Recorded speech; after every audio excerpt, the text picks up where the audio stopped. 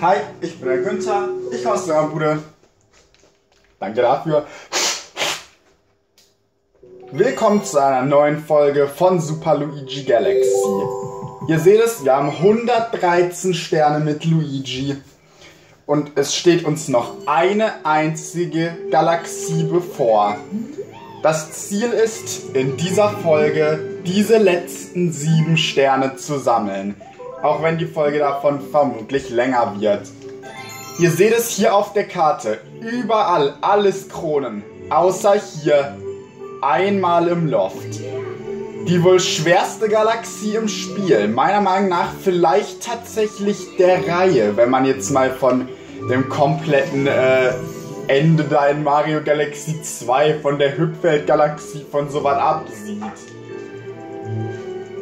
Aber das ist auf jeden Fall nicht leicht, was uns jetzt erwartet. Das kann ich euch versichern. Feuereruption. Wie immer gibt es drei reguläre Sterne, einen Secret Star. Ne, das geht gar nicht. Warte, hä? Es fehlen sieben Sterne. Es gibt drei äh, reguläre Sterne, ein Secret Star, zwei Kometen. Und ein war vor der Kuppel. Oh.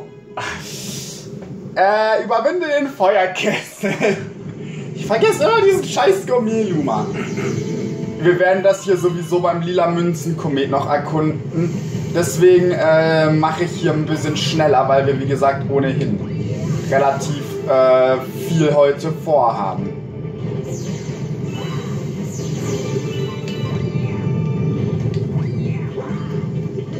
So. Ich äh, glaube übrigens, dass ich nicht erklären muss, dass ich das auch Damage Boost, äh, der mich langsamer gemacht hat, effektiv, dass ich das eigentlich nicht erklären müsste, dass Feuereruption eine. Da kommt so ein Zeug, oh. Dass Feuereruption eine Lavagalaxie ist. Überraschung. Captain Obvious ist wieder am Start. Hier könnten wir uns jetzt fallen lassen. Wir können uns auch in den Vulkan fallen lassen. Das mache ich kurz, um es zu zeigen. Hui, her mit der Scheiße. Hui. Tschüss mit der Scheiße. Ich bin dann mal weg.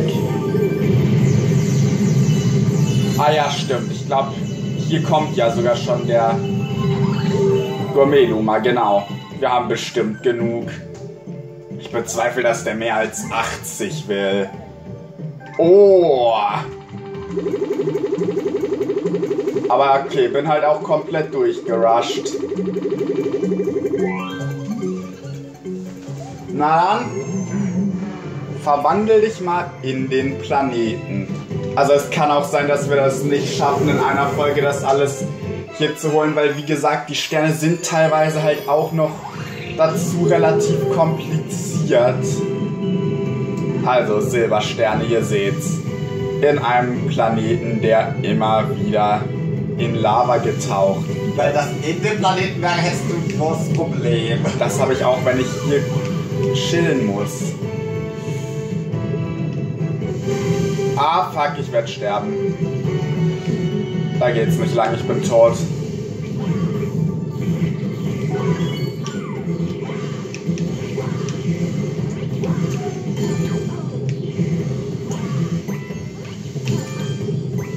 Ich lebe. Äh, das war nicht knapp, das sah nur so aus. Ich gehe hier gleich weiter. Ja, ich würde schon gern hier draufstehen. Ich muss halt jetzt gucken, dass ich hier alles finde. Hier geht's lang. Da hinten sehe ich noch einen.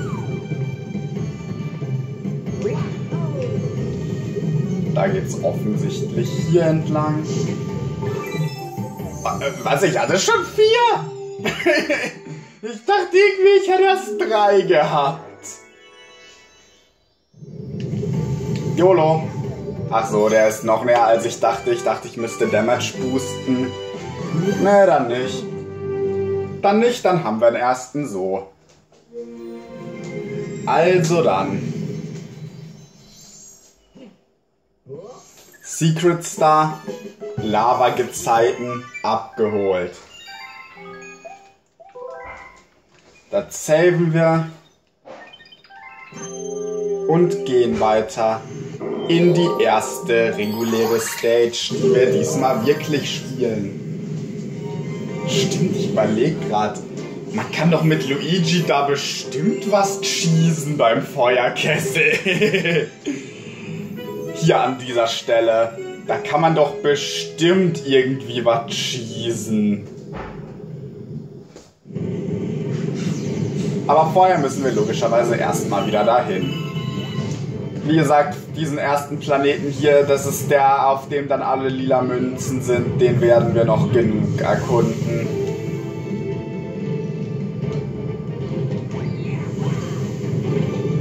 Geht mal aus dem Weg, ihr nervt.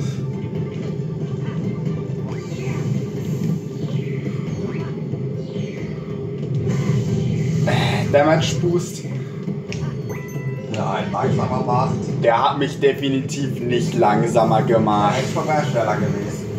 Ja, best, aber noch besser als äh, irgendwie warten. Ne? So, dieses Mal warte ich hier gar nicht. Die Dinger sind sowieso da, der Vulkan explodiert auch in jedem Fall. Dich brauche ich diesmal nicht. So, und jetzt geht's an Greifsternparcours. So, ich wollte gerade sagen, hier kommt doch bestimmt ein Feuerball. Was ein schwerer Max-Kraftpilz, wie soll man den nur bekommen?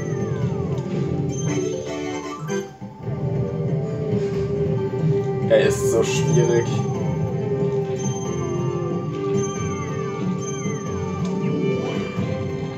Äh, hallo. Nimm das Ding. Das ist auch eine ganz komische Stelle. Da, die haben sie irgendwie gerne hier. So, da sind ein paar Sternteile in der Lava.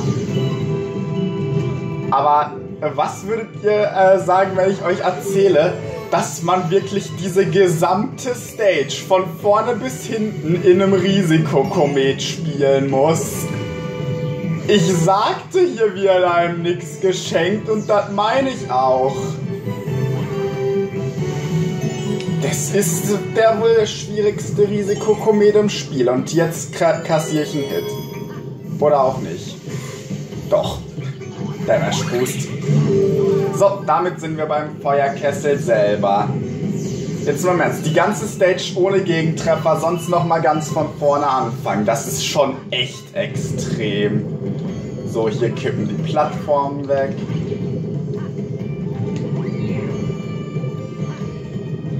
Hier kippt das alles weg. Ähm, wir sollten uns, denke ich, etwas beeilen, weil diese Stütze kaputt geht und der Lava gefällt das nicht. Äh, der Lava gefällt das sehr gut. Die wird jetzt gefüttert. Als ob hier sogar so eine Höhle ist. Das ist ja gedacht, um abzukürzen. What the fuck ist diese Stelle? Ey, es ist wir da rechts runterspringen. da rechts. Ja, da kommt ein bisschen direkt damit nach oben. Ach, der ist hier schon. Ja, jetzt bin ich tot. Nee, noch nicht. Ich dachte, da rechts würde ich wieder da landen, wo ich vorhin schon war. Das muss ich mir merken. Ich kannte die Stelle gar nicht. So, hier kann man natürlich Walljumpen.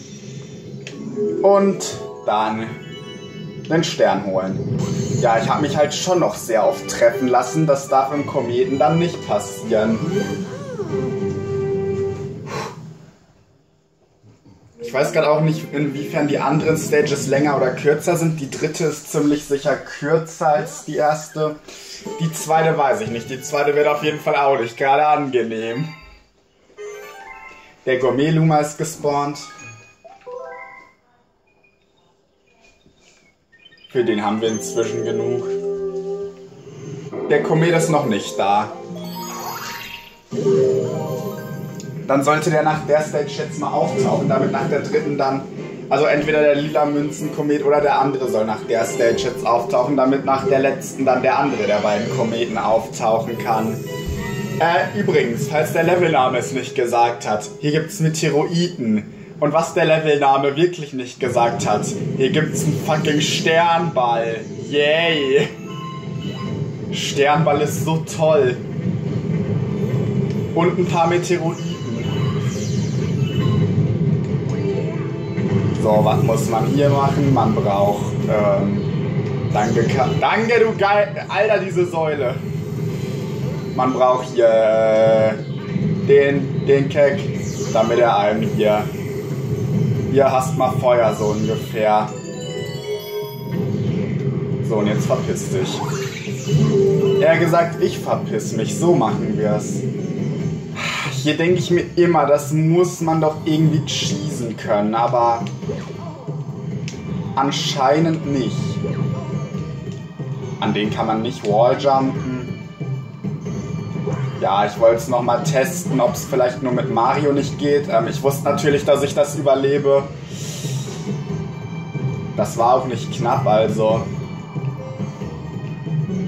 So, ein bisschen Abstand.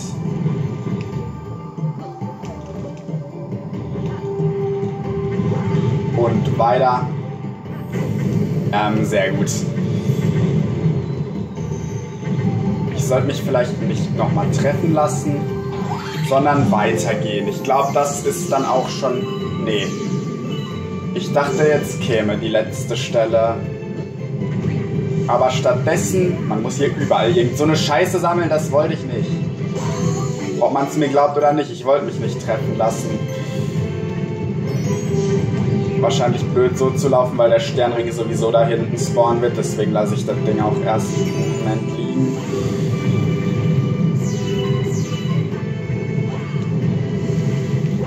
Stage wäre halt noch toller für Snowhit spielen müssen, glaube ich. Aber Sternballer gibt da halt dann nicht so viel Sinn irgendwie.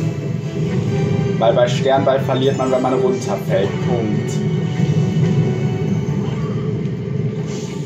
So, jetzt kann ich hier das Ding vorne holen. Jetzt stopp mal! Wenn der jetzt doch, danke, wenn der jetzt doch woanders gespawnt wäre, hätte mich das ein bisschen abgefuckt. Hallo? Da ist noch mehr, Alter, noch mehr Meteoroiden auch. Sag mal! So lange hatte ich die Stage nicht in Erinnerung.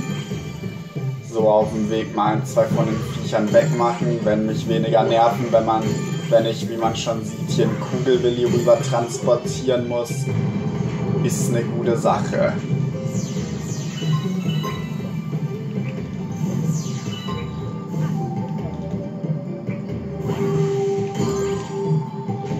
Scheiße, Alter.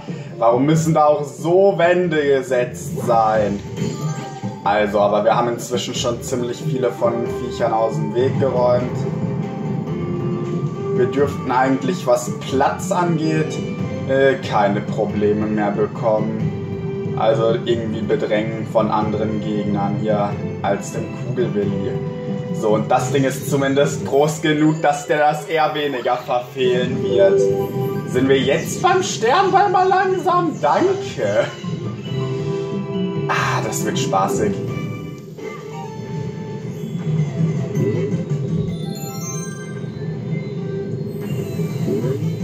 So, geht schneller.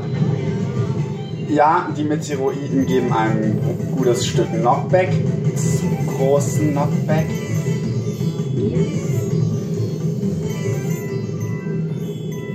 Glaube, eigentlich geht man hier ein bisschen langsamer durch, aber Schnubbe. Hier sind übrigens die ganzen ausgestatteten Lava-Plattformen, die gerade eben gefehlt haben. Ja, und irgendwie habe ich erwartet, dass das ein größeres Problem wird. Hä? ich war jetzt ja gefühlt keine 20 Sekunden überhaupt auf dem Sternball drauf. Ich meine nicht, dass ich mich beschweren will, ne? Ich bin froh, wenn ich das, äh, das los bin. So, ich glaube irgendwie jetzt wird ein Komet gespawnt sein. Wäre ja auch nur sinnvoll. Ähm.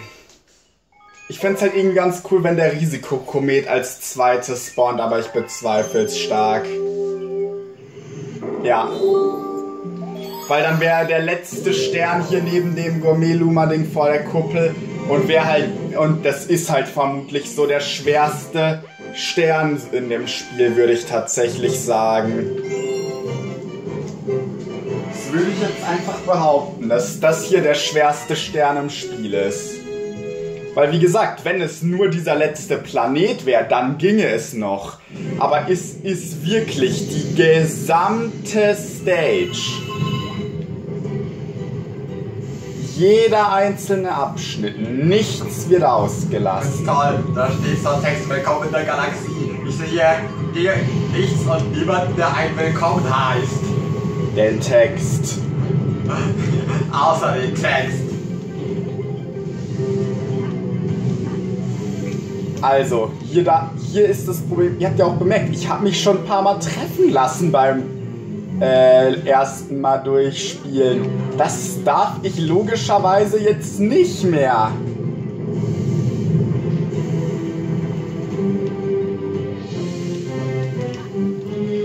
Ich muss mich jetzt auch fokussieren, da werde ich ein bisschen weniger Commentary machen. Weil hier soll halt echt jetzt äh, nichts schief gehen. Das ist fucking schwer. Der Gourmet-Luma ist nicht da. Was eine Überraschung.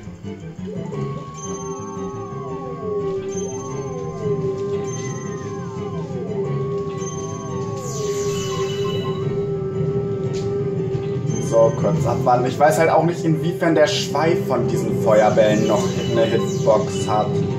Aber hier mit so einem Timing bin ich auf jeden Fall äh, ganz sicher dabei. Überraschenderweise ist auch der Max-Kraftpilz im Komet entfernt.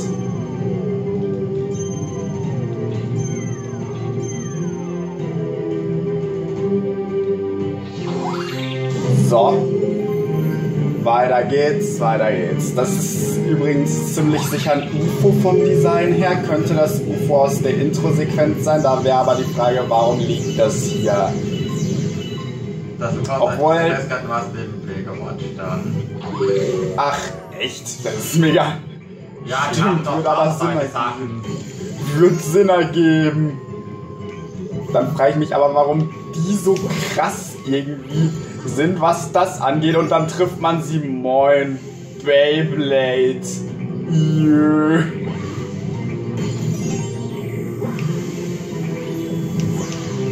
Ich bleibe auch dabei, dass äh, hier der Beyblade-König da der einfachste Boss im Spiel ist. Dabei könnte- wäre es so leicht für ihn unsterblich zu sein. Tja. So.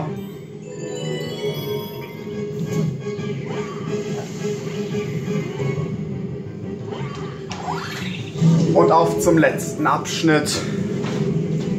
Letztes Mal wurde ich hier nur getroffen, weil ich äh, eben der, den Weg weiter nicht gesehen habe. Wenn wir das an sich nochmal genauso machen, nur diesmal direkt den Weg nehmen, müssten wir eigentlich gut dabei sein.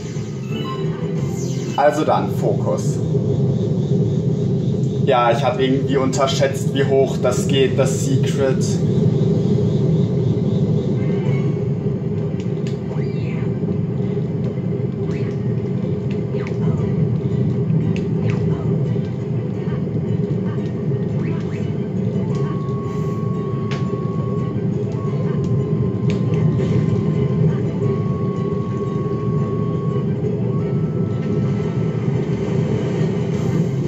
Kommt man hier übrigens eigentlich hoch. Und nicht mit Damage Boost, falls ihr euch das noch nicht gedacht habt. Lasst mich in Ruhe.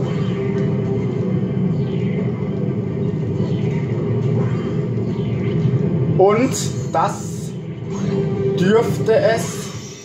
Jetzt mach ja keine Scheiße, du kleines Kackviech. Das ist es. Schön, erster Versuch.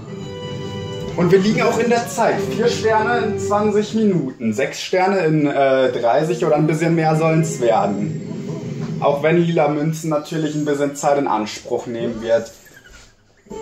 Aber sehr schön, das haben wir First Try geschafft. Aber ich denke, man hat trotzdem gesehen, warum das schwierig sein kann. Vor allem, als ich die Stage normal gespielt habe. So, Stage 3. Und hier kommt jetzt auch endlich mal der letzte Boss, den wir in Mario Galaxy 2 schon wieder getroffen haben. Der Dino Piranha. Ja. Es ist nun mal der Feuer Dino Piranha, das wissen wir. Jetzt müssen wir auch mal da hinten hin. Zum Glück nicht mehr im Risikomodus.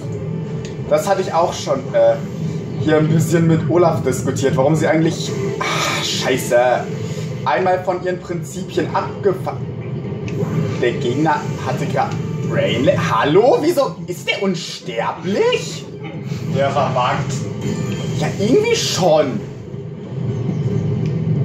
Warum hier äh, einmal von den Prinzipien Abstand genommen wurde, dass Bosse Risikokometen sind. Man hätte ja auch einfach äh, nicht dem Feuerkessel den Risikokometen geben können, sondern der Feuerpiranha. Ich meine, das wäre vermutlich nicht einfacher gewesen, aber darum geht es auch nicht. Es geht ums Prinzip. Und das frage ich mich dann halt. So, diese Röhre sollen wir nehmen. Kommen damit wieder hier zu dem UFO.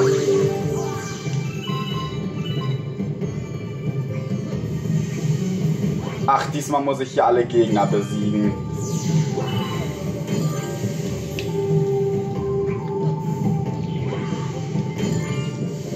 Wenn man hier nichts findet, kommt man da, denke ich, relativ schnell drauf. Aber ein bisschen tricky ist es schon, da zu rein.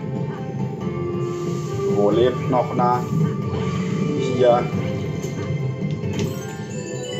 Und da spawnt der Sternring. Wäre jetzt toll gewesen, wenn man nicht alle Gegner hätte besiegen müssen. Alter, dafür hat man jetzt einen großen Sternring gebraucht. Ich glaube übrigens, die Schweife, wenn die hier schon so rumfliegen, haben eine Hitbox. Aber an sich kein schwerer Planet, sondern eher so ein bisschen durchlaufen. Boah, die Stage ist aber auch länger, als ich im Kopf hatte. Boah, lass mich hoch. Warte vielleicht erstmal, wenn da eine Plattform kommt. Danke. Ich habe keine genaue Ahnung, wo die Dinger alle sind. Ach, Kacke. Danke. Bin ich wieder oben. Da haben wir einmal hier, hier, hier und wo ist das letzte da? Und der Sternring mit oben spawnen, genau. Dann warte ich hier mal eine Sekunde auf die Plattform, die mich dann wieder dahin bringt. Die Stages sind alle relativ lang in der Galaxie und haben alle auf jeden Fall knifflige Ansätze. Aber das ist jetzt der letzte Planet vorm Bosskampf. Hätten sie sich aufsparen können. Ja, irgendwie schon. Diese Kuppel hat zwar keinen richtigen Boss, aber äh, man kann Feuerpiranha schon ein bisschen so sehen. Vor allem, wenn man bedenkt, dass auch ein Boss aus der Eierplanet-Galaxie im Maschinenraum, hier, hier gönne ich mir das sogar mal, dass auch ein Boss aus der Eierplanet-Galaxie, habe ich schon einen? Ja, egal. Äh, apropos Tür zu. Stimmt, da war ja einer auf dem Planet davor, egal. Auf die Sterne. Eigentlich in Mario Galaxy 1. Wie viele was? Nummernläden. Äh, nicht so viele. Ich weiß aber auch, dass ich, äh, dass das war, glaube ich, der einzige war, den ich benutzt habe. So. Wer den Boss nicht, äh, nicht gesehen hat in Mario Galaxy 2, ist wie der allererste Boss, den wir in diesem Spiel getroffen haben. Nur hat er nur begrenzte Phasen, in denen man treffen kann. Ich weiß Was macht im letzten Leben den A-Bot? Ja. Ich Ich weiß noch, Mario Galaxy 2 im Zeitkomet habe ich den eigentlich ziemlich dran bekommen. Nur das letzte Leben habe ich ein bisschen gesagt. So, aber jetzt sind wir auch schon auf dem letzten Leben. Ähm, ja. Ich glaube, das hat gut geklappt. Der Boss kann echt ein bisschen nerven, vor allem am Ende, weil die Phasen relativ kurz sind. Aber wir haben ihn doch sehr zerstört, noch krasser als in Galaxy 2. Jetzt mal mehr, das war gefühlt nicht mehr als äh, beim ersten Treffen, als das Ding noch nicht gebrannt hat. So, und jetzt hoffen wir, dass der äh, lila Komet da ist, damit wir Stern 119 holen können und in der nächsten Folge das Ganze hier entweder abschließen können, außer man muss einen Final Boss nochmal machen, dann wird erst übernächste Folge das Ende. Da ist er. Aber ist ganz ehrlich, das Final Boss halt fast 10 Minuten, ne? Na, aber es gibt noch die Credits und alles drum und dran. Für das Final Boss Level selber brauche ich keine 10 Minuten. Was denkst du, wie langsam ich spiele? Wie gesagt, äh, nur hier auf dem ersten Planeten sind die Dinger. Von daher ist es auch recht überschaubar, nochmal relativ entspannt hier zum Ende. Anders als der Gomeluma Stern, der stinkt einfach nur. Hier, man kriegt hier sogar noch direkt Max Kraftpilz geschenkt, also. Das hier ist wirklich nicht gedacht, um schwer zu sein. Das ist auch wohl so ziemlich das Einfachste, was diese Galaxie zu bieten hat. Auch wenn, auch wenn ich hier sagen muss, ich habe das Gefühl, ich habe die Galaxie echt sau einfach aussehen lassen. Ich habe Sternball komplett auseinandergenommen. Ich habe einen Feuerpiranha zerstört, als gäbe es kein Morgen mehr. Die hatten alle gar nichts zu sagen. Hier hatte ich noch was liegen lassen.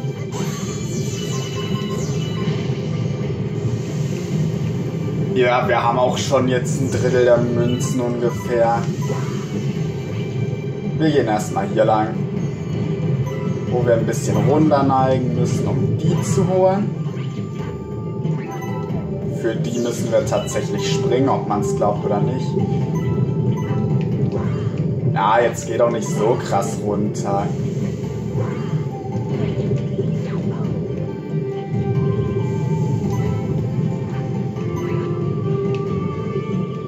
So, hier halt mit ein bisschen Vorsicht rangehen. Hier vor allem einen Moment abwarten, dann kann man da eigentlich einfach langlaufen. Hallo, die Kamera ist wieder echt gönnerhaft.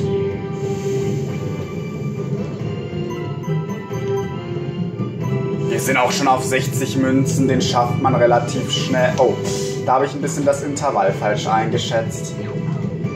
Egal. Euch vergesse ich nicht nochmal, da unten ist keiner echt. Ich hätte eigentlich gedacht, da wäre auch noch nah.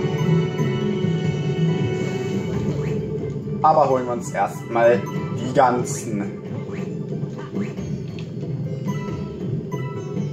70 haben wir, 30 fehlen noch. Und die sind vor allem hier beim Vulkan und beim Bereich direkt hier. Genau gesagt vor allem, ich glaube eigentlich gefühlt nur noch. Ein paar sind noch äh, da, wenn man jetzt halt hier weiter gerade gehen würde, eigentlich direkt. Was wir jetzt auch tun als nächstes. Ja, hier hat man ein bisschen wenig Platz. Was zur Hölle? Was ist denn das für eine Stelle? Ich sterb noch.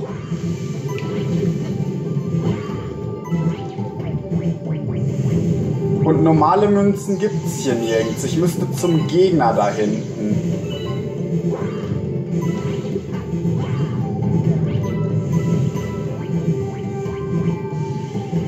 Den Sternring erreiche ich von hier aus nicht. Nein.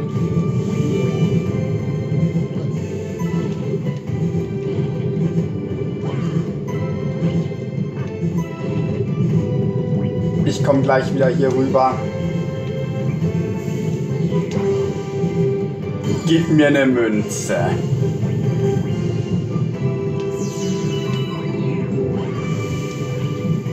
Alter, rutsch nicht gleich wieder ab. Wir brauchen das Zeug. Da hinten chillt auch noch eine Münze. Sollte ich mir die holen? Oder erstmal gucken, ob hier eine drin ist.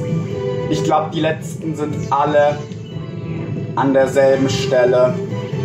Nämlich da bei den Sternringen beim Vulkan. Im und am Vulkan halt.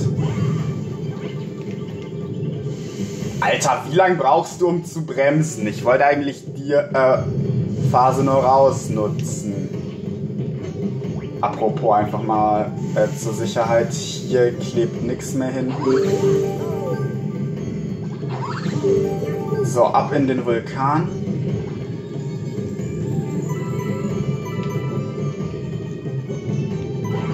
Äh, wie viele haben jetzt hier am Rand des Vulkans geklebt? Das waren nicht drei, oder? Es sind drei. Es sind drei. Wo ist die letzte?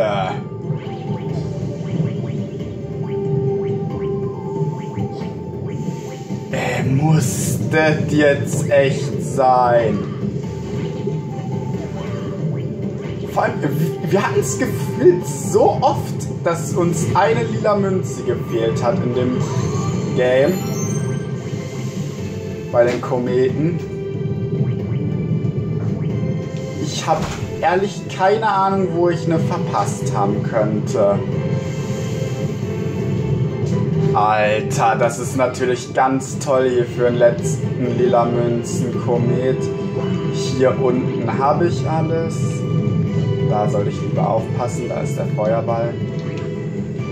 Hier habe ich auch nichts liegen lassen. An sich hätte ich mir halt vorstellen können, dass hier noch irgendwo was ist. Ansonsten denke ich äh, entweder da hinten. Ne, wartet. Da habe ich gerade den Schatten gesehen. Ansonsten hätte ich noch gedacht, da hier, wo es eben hochgeht. Oder dass hier hinten oben an der Wand doch noch irgendwo was chillt, das ich übersehen habe. Aber nein. Wir haben alle 100 Münzen. Und Stern 119. Wenn euch dieser Part gefallen hat und diese Galaxie, ich mag die Feuereruption, ist eine schöne Galaxie, und ihr nicht verpassen wollt, wie wir nächstes Mal Stern 120 holen und vermutlich das Final Boss Rematch machen. Ich glaube zumindest, das müssen wir, ne? So oder so noch. Dann schaltet beim nächsten Mal wieder ein. Lasst gern ein Like und oder ein Abo da. Bis dann und ciao.